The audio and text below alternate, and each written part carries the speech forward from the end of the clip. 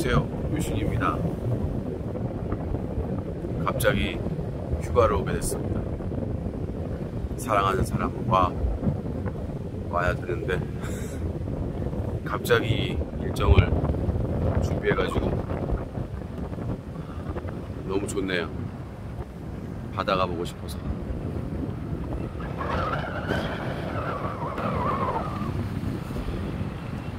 라이브를 하려고 했는데 끊길 것 같아서 바람이 오늘은 좀 부네요.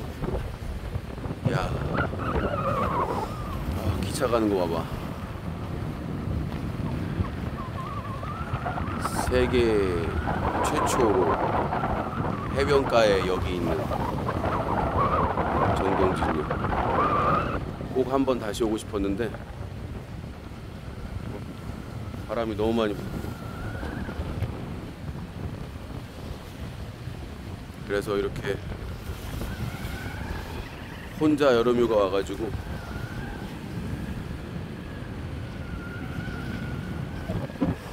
혼자 만끽하기에는 그래서 영상으로 남아. 아 그리고요. 제가 생방송 할 때마다 미리 공지를 하잖아요. 공지가 없으면 네, 뮤시쇼 라이브가 없는 겁니다 다들 나이가 있으시잖아요.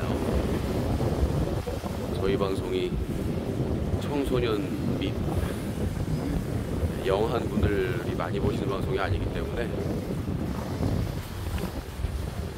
어, 저기에 배 모양 호텔이 있는데 저기에 묵고 싶었거든요. 너무 비싸. 성수기가 아닌데도.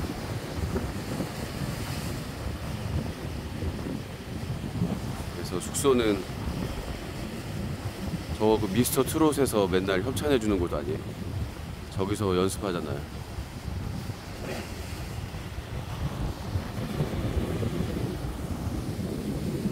자.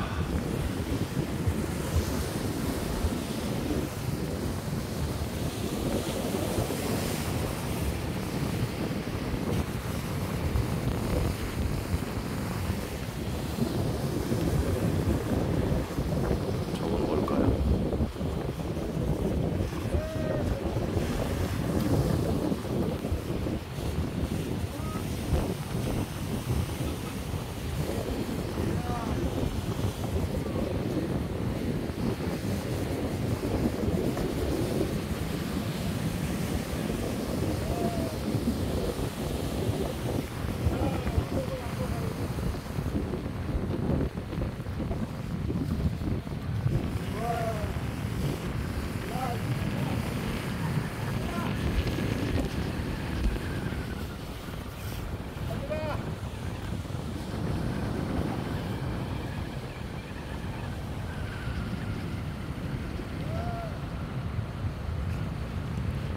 지난해 왔을 때는 저기 등대가 없었던 것 같은데.